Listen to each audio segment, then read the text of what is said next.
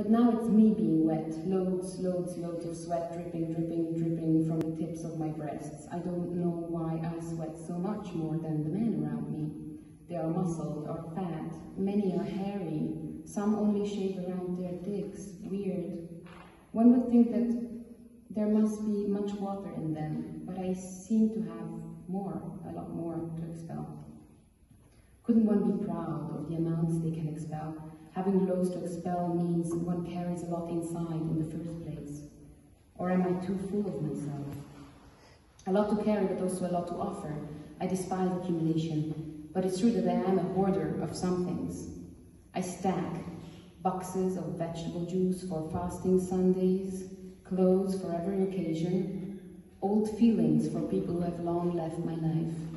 So there you go, all dripping from my nipples now, never-ending stacks dripping down onto my legs, and from my legs to my feet, onto the floor, into the ground, out the door. Rivers of stacks, ever flowing. It's good, almost good. Two for one, flow now or regret forever.